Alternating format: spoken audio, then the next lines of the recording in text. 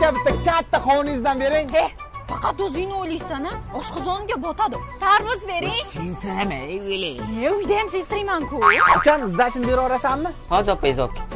Voy chipirqi u meni opam bo'lmaydi xotinim bo'ladi. Просто sinfdoshimga uylanganman yosh ko'rinsam mendami ayb? Aka yosh bola ekansiz. Opani oldiga o'tqizsak bo'lardi. Yosh kattalarni hurmat qilsak bo'lardi. E mengro qayringga qarab polashdi bu kattami kichkina? Pasportimni ko'r uch kunlik kattaman bundan. Sinfdoshim bo'ladi xotinim bo'ladi. Hayda! Tezroq yur. Bidirlama hozir moda bo'lganmi o'zidan kattaga uylanish man bola o'qituvchiga uylanib olganmi bu?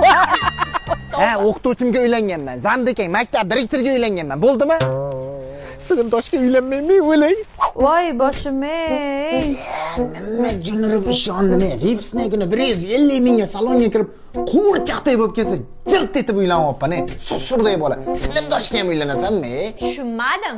E nimani tushunmaysan? Mendan qari ko'rinyapsan hamma kulyapti. Yana sensiraganing вообще ortiqcha.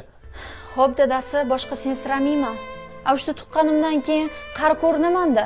Mendan boshqalarga o'xshab salonma salon yursam o'n sakkiz yoshli qizdek bo'laman. E rostdan ham ayb o'zimni salonga borib oltmish to'rt ming rasxod qilsam parvardaday xotin bo'ladi. Hamma joyi sog'lom bo'lsa.